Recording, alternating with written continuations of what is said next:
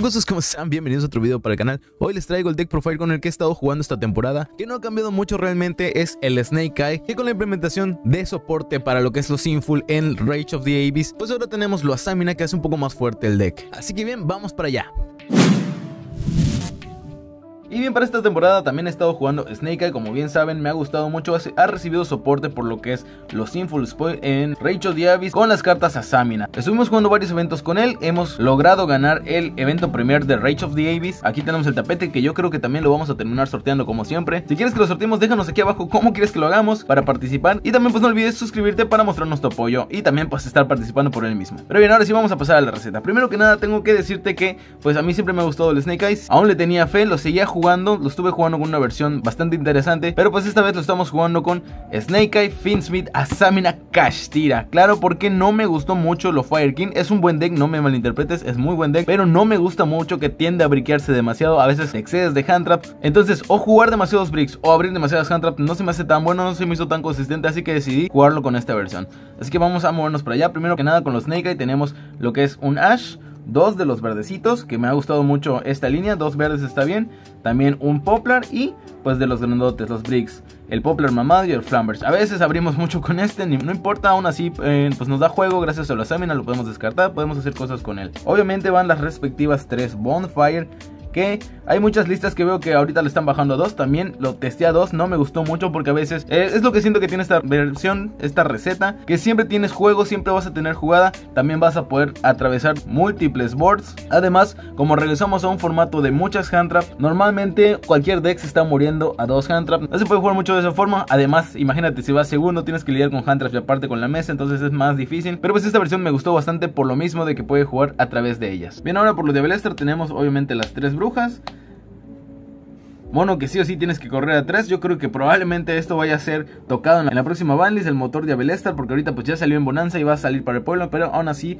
es un excelente motorcito. Obviamente tres carteles de Se Busca para ayudarnos a buscar tanto a la bruja, a veces también terminaba buscando al Poplar Mamado y las tres Deception, las tres Decepción de los Sinful Spoil para acceder a nuestra única magia Samina. No estoy corriendo la magia rápida, no se me hace tan buena, esta la puedes recuperar. El único problema que tiene los Samina es que si te remueven o te regresan la fusión al deck, la magia se queda atorada en el cementerio y no hay forma de sacarla de forma fácil. Pero pues, que pues no puede ser todo perfecto. Y ya por último tenemos obviamente el Original Sinful Spoil y el Divine Temple, el templo de los Snake Eye. Eso es todo en cuanto al motor Sinful Snake Eye. Vamos a movernos ahorita con los otros motorcitos. Jugamos el motor Castiera como ya les había comentado. Estoy jugando 3 Fenrir y solamente un unicornio. porque esto lleva en esta línea? Antes solía correr dos unicornios y dos Fenrirs. Porque el unicornio, regresamos un formato donde las cartas del extra deck se juegan a uno. Entonces esto quitarse cosas a los decks meta es muy bueno. Además de que uno de tus peores matches normalmente es el Tempai. Si te tiran Shifter, pues no vas a poder hacer gran cosa. Entonces, pues con lo que estira ya vas más o menos defendiéndote. Además de que el unicornio puede desmadrar también el extra deck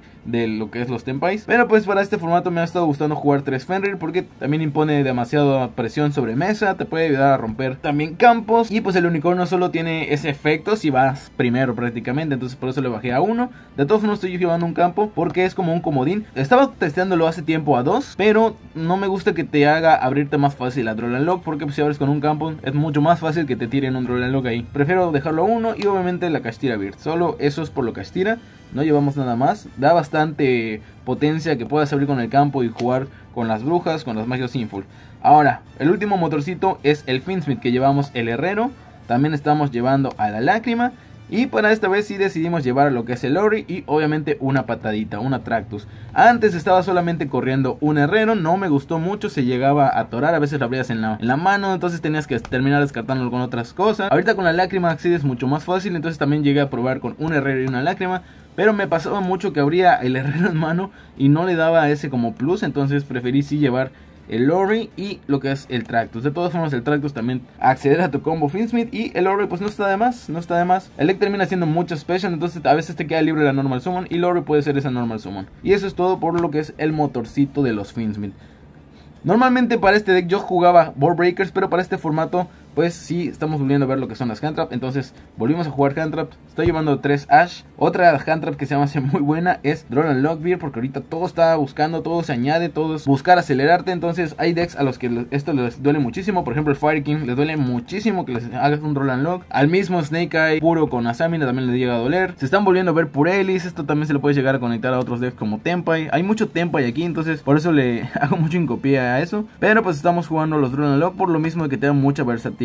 También tenemos ogras. Estoy jugando dos ogras que se me hicieron una jantra pasadísima de madres para este formato. Siempre hay como una cabida para tirarlas. Siempre va a poder romper algo. Para los Juveles puedes romper la magia. Para el Tempai se la lanzas al campo. Para los Fire King también lo vas a poder clavar. Entonces ahorita la ogra se me hace una muy buena Hantrap. De todas formas vamos a traer la tier list de las Hantrap para este formato. Eso es todo en cuanto a Hantrap. No estuvimos llevando Fugalos. Tampoco los Purulia ni de Main ni de Sidek. Porque sí son buenos, no te voy a decir que no son malos. Eh, más el Fugalos que el, realmente el Purulia. El Fugalos no es malo, pero únicamente te sirve Going Second. Y aparte, pues siento que es una hand trap que ahorita es fuerte porque la gente pues no la tiene, entonces no le sabe jugar mucho alrededor. Pero Fugalos no es del todo perfecto. Hay muchos decks que están cobrando fuerza gracias a esta hand trap también. Por ejemplo, los decks de mid range, como es el Centurion, como es el Branded, como es el Labyrinth, que con dejarte poquitas cosas te va a ir controlando. Entonces Fugalos no les hace nada. También decks control de los como lo es los Flow Wanderers y ahorita está cobrando más relevancia también el deck Exodia que Fuelos no les hace nada. Y Purulia pues únicamente la veo como un deck para Going Second, entonces estas Hantrap brillan muchísimo en Tempai, pero pues por ahorita no quise llevar Fuelos. De todas formas igual y sí jugaría Fuelos cabiendo algo del deck para hacerle espacio, para llevar los tres Fuelos. Pero pues de momento lo estamos llevando así. Y ya para finalizar tenemos como que los que nos ayudan si nos tiran Handra porque es un formato de muchas Handra. Tenemos Tactic Talents por si nos hacen Droll que es como que la Handra que más le duele. Nibiru no tanto porque ya podemos jugar alrededor de Nibiru. En la quinta summon ya tenemos la Omninegación. Entonces Droll Unlock es una de las cartas que más nos puede llegar a joder. Y pues también tenemos el Call by the Grey porque pues el Shifter está ahí siempre latente, siempre presente. Una Handra a la que no le puedes jugar tan fácil. Y de todas formas también pues tiene el cometido de parar los fugalos al igual que la Ash Blossom que ahorita es una gran Handra por lo mismo de que le hace counter a ella. Y eso sería todo en cuanto el main deck. Son 42 de main. Y pues, como se pudieron dar cuenta, pues no estábamos llevando ni fugalos. No estamos llevando, obviamente, impulso. Porque no se puede correr. Porque choca con los Finsmith. Pero pues no estamos llevando ninguna de esas ni de main ni de side deck. Entonces tampoco estamos llevando el conejito con su trampa. Por si no se habían fijado. Pues ahí tenemos este, los tokens que he estado corriendo. Y pues ahora sí vamos a movernos al extra deck. Para los Finsmith tenemos el Requiem. También tenemos la mini diosita, el, secuencia y pues para los Finsmith también tendríamos lo que es el de que ahorita como ha estado ayudando. Muchas veces me interrumpen demasiado, te tiran tres Handram, entonces ya este es un poco más complicado dejar mesa sobre eso, entonces, pero aún así el deck tiene una facilidad para dejar dos cuerpos, entonces acceder a los Finsmith es demasiado fácil. Ahora por otras cartas tenemos obviamente IP, SP, Hita, estas son demasiado genéricas, creo que en todos los Snakers la vas a ver. Ahorita está cobrando otra vez relevancia el Dark. Eh, más que nada por el Mirror Match para robarte a las brujas del oponente y empezar a jugar tú con los, con los Sinful y con la Samina. Además de que también te puedes robar las Omni-Negaciones si no las han regresado, si ya las utilizaron. Y por el resto también es demasiado genérico, el Nightmare Phoenix, la Promethean. Yo sigo utilizando el combo de Regan Phoenix con el Celantis, es demasiado bueno, yo no sé por qué ya no lo están utilizando tanto en las recetas. No solo te ayuda a matar mucho más fácil, sino que también Celantis te sirve en esos matches donde todo lo demás no sirve. Por ejemplo, en contra de Dex Control o de Dex que setean mucho, Celantis impone demasiado control porque en la Battle Face puede estar reventando cartas. Entonces también es muy bueno para eso. Y estamos usando la Tech del Capo Laboro desde que salió. Me ha encantado, así que la sigo utilizando. Lo que es la Goddess, la Gran Goddess. Esta también te sirve muchísimo contra Tempai. ¿Por qué? Porque normalmente el combo siempre vas a terminar con la IP abajo. Entonces la subes con el Flamber. Siempre vas a tener cuerpos de más. Vas a tener la IP para disparar, por ejemplo, contra los Tempais. Te hace normal Pydra, te busca cualquier cosa. Efecto de Chunda, tú disparas IP, te quitas tu IP, otros dos monstruos y el, y el. Y normalmente ahí les terminas el turno. Cae la Goddess, ya no puede bajar Chundra porque ya no controlan el dragón. Le quitas al Pydra para que ya no caiga el Chundra. Y de todas formas, esto puede negar también al Fadra. Además de que los Lightnings, las gotas, no le van a hacer nada a ella. Es muy buena también para barrerte campos. Porque a veces también el deck spamea demasiado a los monstruitos de nivel 1 de los Snake Eye. Que muchas veces no intimidan a nadie, pero pues también te pueden ayudar a escalar a lo que es la Goddess. Y pues ya para finalizar tenemos la Asamina que es únicamente la murciélago y la Asamina Silvia. Ahora sí vamos a pasarnos para el side deck. Como yo les digo, en el side deck no traemos nada también este como los Fugalos, como los Mulcharmy, entonces no es que sean malas cartas, simplemente estaba sufriendo para conseguir la tercia, entonces pues jugar una o dos no es ninguna. Entonces me propuse también como que a tratar de jugar sin ellas por este early meta, pero pues ya iremos probando también con Fugalos y Mulcharmies en el side. Pero de momento estoy jugando 3 Diddy Crow que se me hicieron una cartota, o sea, realmente te sirve contra muchísimos match. Esta cosa se me hizo mejor que los Vistel, aparte de que no podemos llevar Vistel porque choca un poco con lo que pero esto te ayuda mucho en los match contra el Snake Simon. Esto se le puedes quitar la fusión para que ya no recupere la magia, le puedes pegar a los Finsmith, también te sirve mucho contra los Tempais, te lo tiras normalmente a lo que va a revivir el Fadra o el Synchro, también con eso te puede ayudar a sobrevivir. Resultó ser bastante versátil en los matches contra fuego, Fire King ahorita hay mucho, también te va a ayudar a quitarte ya sea el Garunix o el Promethean. Entonces es muy bueno el Diddy Crow. Contra los decks casco tenemos Cosmic Cyclone y estoy jugando nada más un Harpy Feather Duster porque hay demasiado deck antimeta por acá, hay demasiado deck tipo casco. Me gustaría probar por aquí un Twin Twister o tal vez un Lightning y un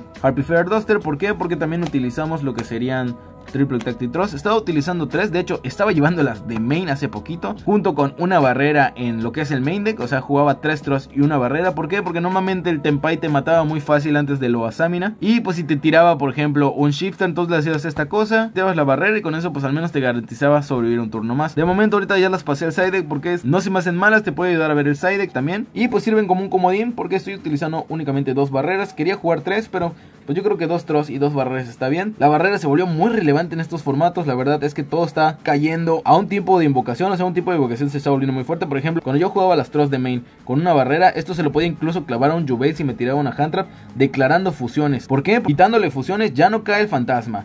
Ya no cae el verde este, el demonio 6 que va a ser Fury un demonio. Ya no cae la necroprincesa y tampoco cae ninguna de las fusiones de los Finsmith. Entonces, entonces este simplificado bastante el estado de juego llevar esto. También te ayuda muchísimo contra los decks Rooney con White Forest, declarando sincros, no va a poder jugar tranquilo. Y otro target de Trust, estoy llevando lo que es la Different Dimension Ground. Te sirve mucho contra Fire King, también hay que respetar todavía el Juvel. Aún hay gente jugando Juvel acá. De hecho, hay uno de los, de los que yo considero mejores pilotos Juvel, contra los que tarde o temprano me va a tocar. Y esta carta es bastante relevante contra ese tipo de match. Y pues sin quitarte que también te puede dar el win contra otros decks random. Y por Floodgate llevamos un anti-spell que prácticamente si la flipeas ya controlaste el juego, ya casi ganaste. Y del cambio One que te ayuda muchísimo también contra varios matches que ahorita se están simplificando en un solo tipo de monstruo. Y la última carta que llevamos es un Kikinagashi Fuko que antes llevaba en el extra deck, pero ahorita se ha estado dejando de ver un poquito más Tempai sobre las mesas. Tempai es ese deck que hace bueno a los jugadores malos. Así que realmente no hay que tenerle miedo al Tempai, pero sí hay que tener respeto. Entonces por eso estaba llevando el Fuko de deck. Pero quién sabe, igual y si se deja de ver tanto Tempai, pues se puede ir del deck incluso y meter alguna otra carta que te sea de utilidad.